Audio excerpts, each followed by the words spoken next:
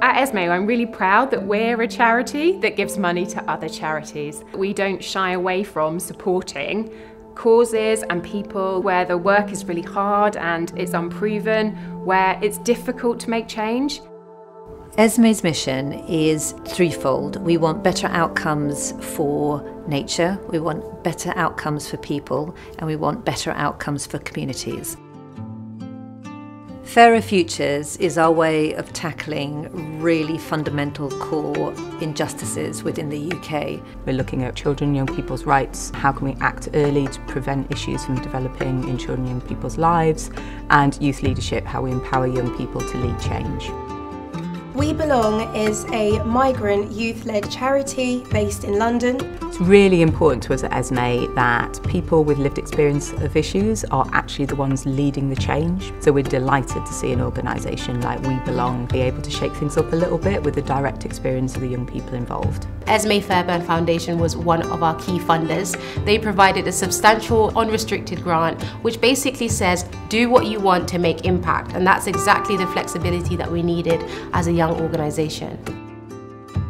The mission of Family Rights Group is to create a more socially just society in which children are able to live safely and thrive and to strengthen the community and support networks of children who are unable to live at home. Esmée Fairbairn have been incredibly supportive, um, they're very dynamic. We've also been involved in their Leading Care network and it's been a fantastic learning experience for ourselves as professionals but also as an organisation. Creative Confident Communities is focusing on the assets of the community, their creative and cultural heritage. B Arts is a participatory arts and theatre company. We're based here in Stoke-on-Trent. We've been funded by the Esmée Fairbairn Foundation since 2014 to run a project called Art City. It's been completely brilliant for the organisation and for the arts community in the city. Culture is a really essential part of the identity local communities have. It can be used in really effective ways to bring communities together. Plunkett Foundation are a UK-wide charity. We've been operating for over 100 years. We support communities, predominantly in rural areas, to address the challenges they face through collective community ownership. We are really proud to have worked with Esmée for so long. They are a really, really proactive, positive and supportive funder. Our natural world is where we focus our attention on climate change and biodiversity loss here in the UK. The work of the Woodland Trust is more important than ever as we face a climate crisis and a nature crisis. There's so much more to do. This is the issue of our times. What we're trying to do here is to ensure that nature is absolutely core and central to everything. It's great to work with an organisation that shares our goals. We're all working towards the same environmental outcomes. They want their funding to make a difference, so they talk to organisations to see how best we can work together. Yorkshire Wildlife Trust is one of the oldest wildlife trusts. Our mission is about protecting wildlife for the sake of the environment.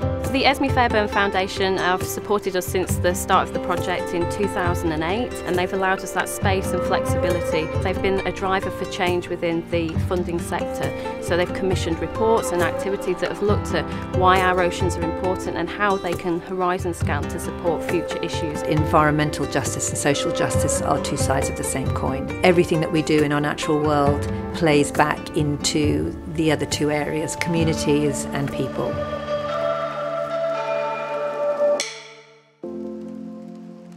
I think what makes everything so special for me is their willingness to change and their drive for change. We have moved to being an organisation that really listens to the organisations we fund, to the people that we support and to our partners that we work alongside. 2027 is a programme that's designed to get working class people into funding organisations. What the programme is seeking to do is to open up a sector that has traditionally been run by people who are on the wealthier side of life. I think it's really important, particularly for foundations, to open themselves up to different voices and different views. I think 2027 has given me such a massive opportunity and to come and work at the Esmée Fairbairn Foundation has been one of the most incredible experiences of my whole life.